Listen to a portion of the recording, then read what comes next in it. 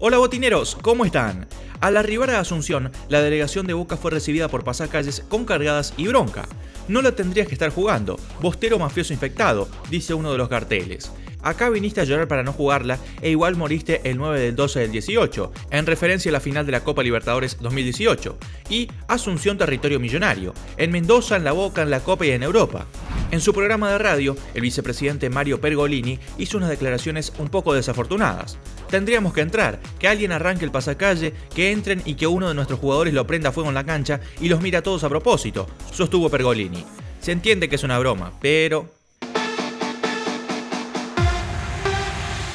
En la jornada de jueves de Copa Libertadores, Racing cayó 1 a 0 como local ante Nacional.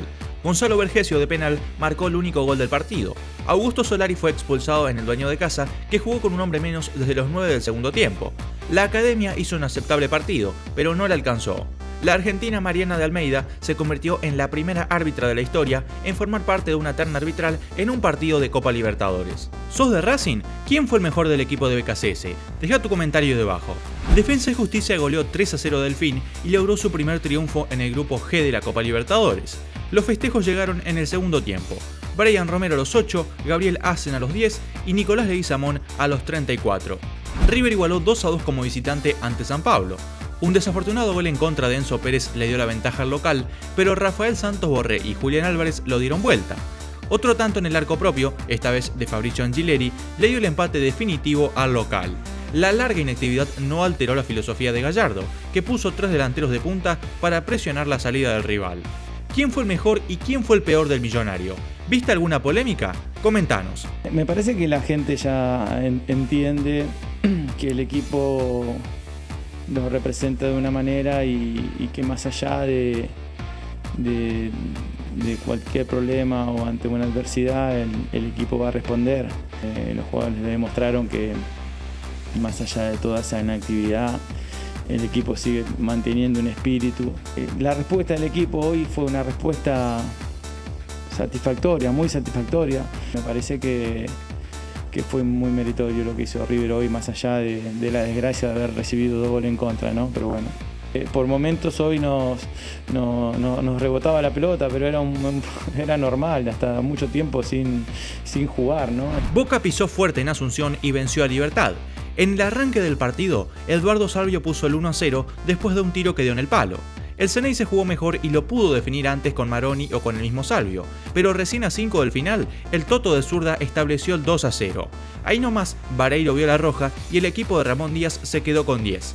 Cardona y Walter Bow ingresaron desde el banco y el delantero sorprendió con las 6 en la espalda. ¿Cómo viste al Ceneice? ¿Quién fue el mejor? ¿Quién fue el peor? ¿Qué hay que mejorar? Deja todas tus opiniones ahí debajo.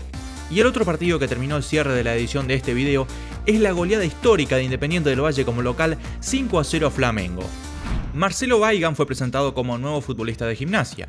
De esta manera, Diego Maradona tiene el lateral derecho que buscaba desde el inicio del mercado de pases. Mariano Soso volvió a tomar las riendas de San Lorenzo. Lo hizo en el Estadio Nuevo Gasómetro un día después de someterse a estudios cardiológicos, en una sesión matutina que contó con la presencia de Marcelo Tinelli. Conmebol y FIFA llegaron a un acuerdo para que las eliminatorias sudamericanas arranquen en octubre. FIFA ratificó que los clubes tendrán la obligatoriedad de sesión de los jugadores y que tienen el ok gubernamental para que al regresar a sus países los jugadores no deben hacer cuarentena. Argentina juega el 8 de octubre en la Bombonera con Ecuador y el 13 con Bolivia en La Paz. La lista de Lionel Scaloni sale entre el domingo y el martes. Steven Sun, dueño de Inter, rompió el silencio y fue tajante en torno a un posible fichaje de Messi. Ni siquiera lo planteamos. Nuestros pilares ahora mismo son la innovación, la planificación, el crecimiento constante y la estabilidad económica. Así llevaremos al Inter al mejor nivel. Banfield emitió un comunicado en el que aclaró que James Rodríguez pasó gratis al Everton, por lo que el taladro no cobrará nada de derechos de formación.